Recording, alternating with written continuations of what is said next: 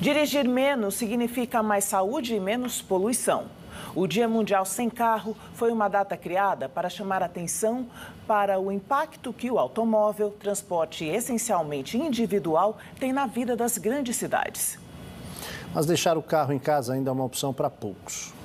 Bruno decidiu vender o carro em 2016. Na época, essa decisão foi tomada, né, após fazer contas e chegar na conclusão que eu ganharia tempo, economizando dinheiro e ainda evitando o estresse do trânsito. Gabriel ainda depende de carro, mas reduziu muito o uso por causa do preço da gasolina. Eu rodava, sei lá, coisa de 500 km por semana e gastava 700 reais por mês, vai, de, de combustível. Hoje eu tô rodando coisa de 100, 150 km por semana e gastando os mesmos 700 reais de combustível.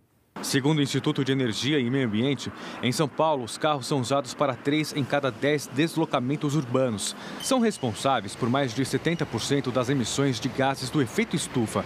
Para o patologista Paulo Saldiva, o resultado da poluição gerada é equivalente a fumar quatro cigarros por dia. Mas há outros impactos para a saúde. A melhoria da tecnologia veicular, ela foi, digamos, de uma forma prejudicada pelo aumento da frota e pelo aumento do tempo que essa frota fica para fazer os mesmos deslocamentos pelo congestionamento. Ela induz sedentarismo também, né? As pessoas que, é, quando a cidade vai se espalhando, elas vão morar mais longe e, consequentemente, vão ficar mais horas em é, sedentarismo compulsório. Deixar o carro em casa significa ter opção de transporte público. Grandes cidades, como São Paulo, por exemplo, têm tentado estimular a construção de moradias em locais próximos de terminais de ônibus e metrô. Hoje, os carros ocupam 88% dos espaços de ruas e avenidas. Os ônibus, apenas 3%.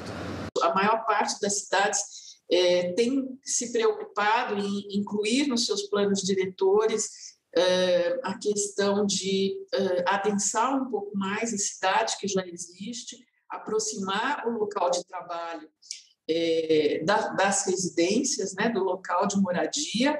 A arquiteta e urbanista também vê uma mudança de comportamento nas novas gerações em relação ao uso do carro.